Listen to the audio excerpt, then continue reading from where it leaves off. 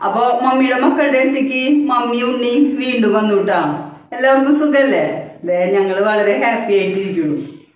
അപ്പൊ ഇന്നത്തെ റെസിപ്പി എന്താണെങ്കിൽ പെട്ടെന്ന് ഉണ്ടാക്കാൻ പറ്റണ ആ. ഒരു നാലുമണി പലഹാരം. നാലുമണി പലഹാരം. അതായത് മംഗലാപുരത്തുകാരുടെയാണ് അവർ അവകാശപ്പെടുന്നു. പക്ഷെ അവിടെ നിന്ന് തന്നെ മമ്മിയും കഴിച്ചിരിക്കണത്. അപ്പൊ ഇപ്പൊ നമ്മൾ നമ്മുടെ നാട്ടിലെല്ലാവരും ചെയ്യുന്നുണ്ട്.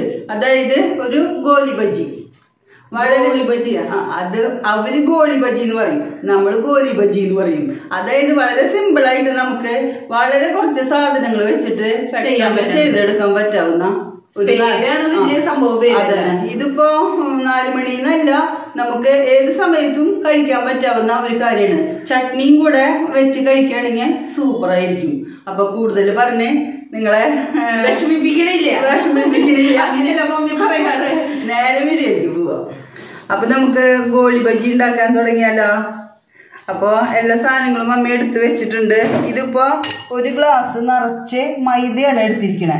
മൈദയിൽ തന്നെ ഇത് ചെയ്യണം കേട്ടോ. എന്നാലേ നമ്മൾ ഉദ്ദേശിച്ച രീതിയിൽ കിട്ടുള്ളൂ. ആട്ടമാവ് പറ്റില്ല. ആട്ടമാവ് പറ്റില്ല. നമുക്ക് ആ മൈദയിൽ തന്നെ ചെയ്താലാണ്.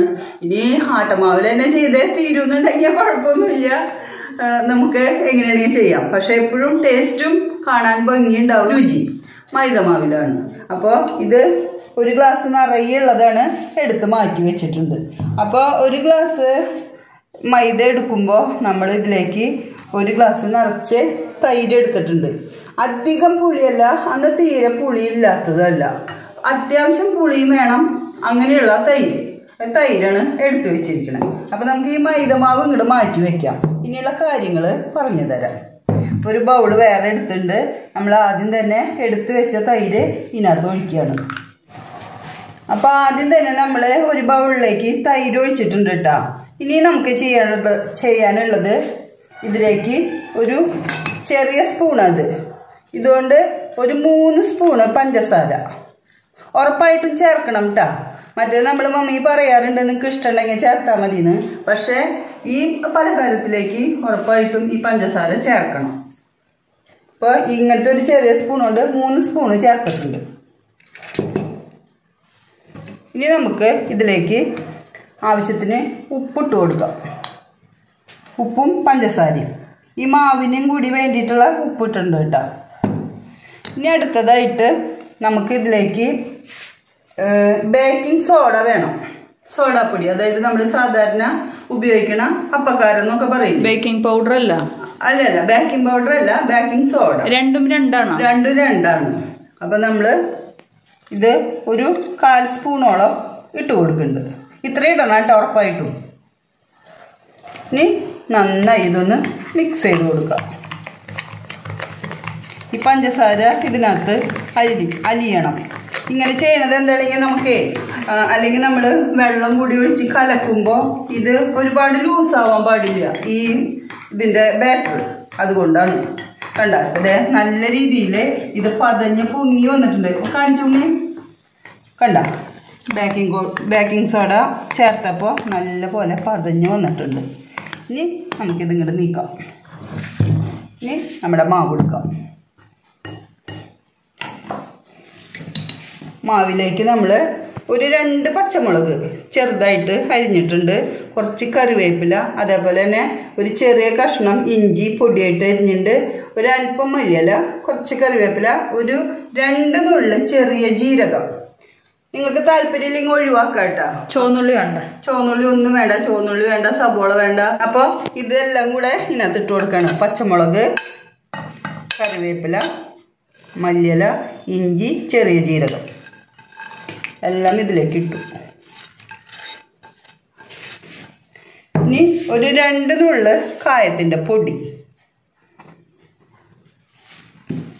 നന്നായിട്ടൊന്ന് മിക്സ് ചെയ്ത് കൊടുക്കുക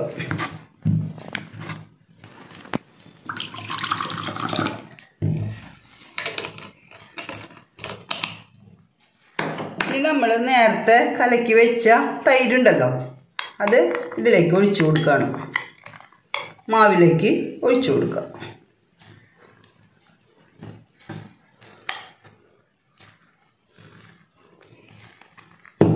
നന്നായി മിക്സ് ചെയ്ത് കൊടുക്കുക. ഇപ്പോൾ ഇത് ഇത്രയ്ക്ക് ആയിട്ടുണ്ട്. നമ്മൾക്ക് ഇനി വേണമെങ്കിൽ തൈര് വേണമെങ്കിൽ തൈര് ഒഴിച്ച് തന്നെ നിങ്ങൾക്ക് കലക്കാം. പക്ഷേ മമ്മി ഇതിലേക്ക് കുറച്ച് വെള്ളം ചേർക്കുന്നുണ്ട്. വെള്ളം ചേർത്തുകൊണ്ട് ഒരു കുഴപ്പമില്ല കേട്ടോ. അപ്പോൾ കുറച്ച് വെള്ളം ഒഴിച്ചിട്ട് ഒന്നും കൂടി നമുക്ക് മിക്സ് ചെയ്ത് കൊടുക്കാം. ഒരു ഗ്ലാസ് മൈദയ്ക്ക് ഒരു ഗ്ലാസ് തൈര്. അതാണ് കണക്ക്. അതാണ് കണക്ക്. എന്നിട്ട് ബാക്കി പോരായി ഉള്ളത് നമുക്ക് വെള്ളം ഒഴിക്കാം. വെള്ളം ഒഴിക്കാം. ഇനിയിപ്പോ തൈര് അധികം പുളിയില്ല തൈര് ചേർക്കണം എന്നുണ്ടെങ്കിൽ കുഴപ്പമില്ലാന്ന്. ഇവിടെ മാവ് അടിപൊളിയായിട്ട് വന്നിട്ടുണ്ട് കേട്ടാ. ഇങ്ങനെ വേണം നല്ല പോലെ ഒന്ന് കലക്കിയെടുക്കണം. ഒരുപാട് ലൂസല്ല നമുക്ക് കൈകൊണ്ട് ചെറിയ ചെറിയ കുറേശ്ശെ കുറേശ്ശെ നുള്ളിയിടണ ഒരു പാ പാകം. ഒരുപാട് ലൂസായി നമുക്ക് കൈ വെച്ച് അങ്ങനെ ഇടാൻ പറ്റില്ല അപ്പോൾ നല്ല രീതിയിൽ നിങ്ങൾ ഒന്നും കൂടി ഒന്ന് മിക്സ് ചെയ്ത് കൊടുക്കുക ഒരു അഞ്ച് മിനിറ്റ് വല്ല വിസ്ക് ഉണ്ടെങ്കിലാ? അല്ലെങ്കിൽ ഇതേപോലെ സ്പൂൺ വെച്ചിട്ടാ നന്നായിട്ട് ഒന്ന് മിക്സ് ചെയ്ത് കൊടുക്കുക കേട്ടാ. അപ്പോൾ നല്ല രീതിയിൽ മിക്സ് ചെയ്ത് കൊടുത്തിട്ടുണ്ട്. നമുക്ക് ചുരുങ്ങിയത് ഒരു ശരിക്കും പറഞ്ഞാൽ നമ്മൾ ഈ അപ്പക്കാരം ബേക്കിംഗ് സോഡ ഇട്ടത് കൊണ്ട് നിങ്ങൾ ചോദിക്കും പിന്നെ റെസ്റ്റ് ചെയ്യാൻ വെക്കേണ്ട കാര്യമുണ്ടോ? എന്ന്. ശരിക്കും ഇത് പൊങ്ങി കിട്ടണമെങ്കിൽ നമ്മൾ ഒരു മണിക്കൂറെങ്കിലും ഒന്ന് മാറ്റി വെക്കണം. ഇനി ഒട്ടും സമയമില്ലെങ്കിൽ അരമണിക്കൂറിനുള്ളിൽ നിങ്ങൾക്ക് ചെയ്തെടുക്കാം. വലിയ ചട്ടിയിൽ ഉണ്ടാക്കണ കുറെ നാളായില്ലേ നമ്മൾ ഈ പലഹാര അടുക്കളയിലേക്ക് വന്നിട്ട്. ഒറ്റടിക്ക് പണി കഴിയൂല. അപ്പോൾ എപ്പോൾ നിങ്ങൾ ഇത് ഉണ്ടാക്കാൻ തുടങ്ങിയാലും ഒരു ഡവറയിൽ ആദ്യം തന്നെ കുറച്ച് വെള്ളം എടുത്തു വയ്ക്കുക അതിൽ നമ്മുടെ കൈ നല്ലപോലെ നനയ്ക്കുക. അതിനുശേഷം ഈ പാത്രത്തിന്റെ ഒരു അരിഭാഗത്തു നിന്ന് കുറച്ച് ഒരുപാട് വലിപ്പം വേണ്ട കേട്ടോ കുറേശ്ശെ എടുത്ത് നമുക്കിങ്ങനെ വിടാം. പൊന്തിയില്ല. ഇപ്പം ഒന്നൊന്നും തൊടൊന്നും വേണ്ട. നമുക്ക് എത്രത്തോളം സ്ഥലമുണ്ടോ അതിനനുസരിച്ച് ഇട്ട് കൊടുക്കാം.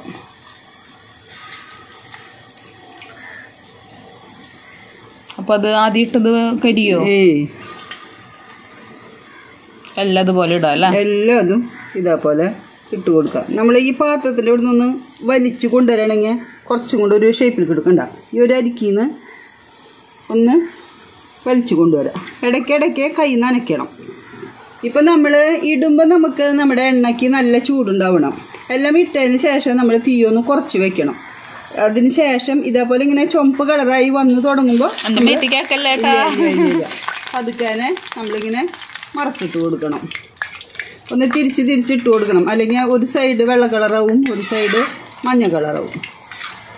നല്ല ബ്രൗൺ ആവണ വരെ മൊരിക്കണം അല്ലേ വല്ലാണ്ട് ബ്രൗൺ വേണ്ട. ഒരു കളർ മാറ്റം വരുമ്പോൾ നമുക്ക് ഗോൾഡൻ കളർ ആ? ഗോൾഡൻ കളർ വരുമ്പോൾ നമുക്ക് എടുക്കാം.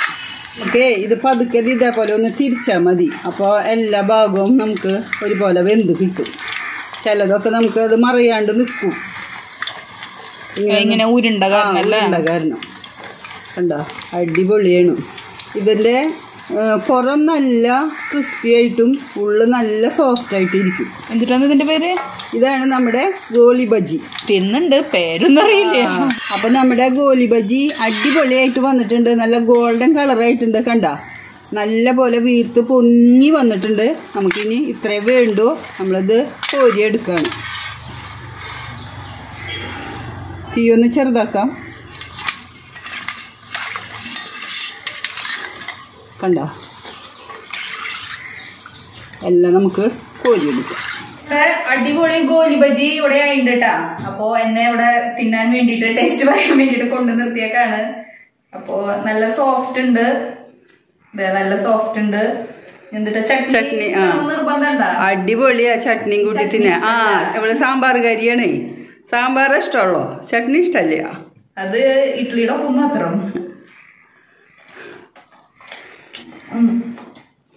ചട്നിയുടെ ഒപ്പം ടേസ്റ്റ് ഉണ്ട്. പക്ഷെ എനിക്ക് തന്നെ തിന്നാൻ ഇഷ്ടം. അതുകൊണ്ട് തന്നെ തിന്നിട്ട് പറയാം. നല്ല ടേസ്റ്റ് ഉണ്ട് കേട്ടോ. നല്ല സോഫ്റ്റും ഉണ്ട്. നല്ല ടേസ്റ്റും ഉണ്ട്. പെട്ടെന്ന് ഉണ്ടാക്കാൻ പറ്റും. അപ്പൊ ഒന്ന് ട്രൈ ചെയ്ത് നോക്കിയോളാം നമുക്ക് എന്തെങ്കിലും പറയണ്ട ഏയ് മമ്മി പറയേണ്ടതൊക്കെ അവരുടെ അടുത്ത് പറഞ്ഞു കഴിഞ്ഞിട്ടുണ്ട്. എല്ലാവരും ഒന്ന് ചെയ്ത് നോക്കിയോളാം ടേസ്റ്റ് ഉണ്ട്. മധുരമുള്ള കാരണേ പിള്ളേർക്കൊക്കെ നല്ല ഇഷ്ടാവും. മധുരം അധികം ഇഷ്ടമില്ലാത്തവർക്ക് പഞ്ചസാര കുറയ്ക്കാട്ടാ. ഒരു കുഴപ്പമില്ല. ഇഷ്ടം.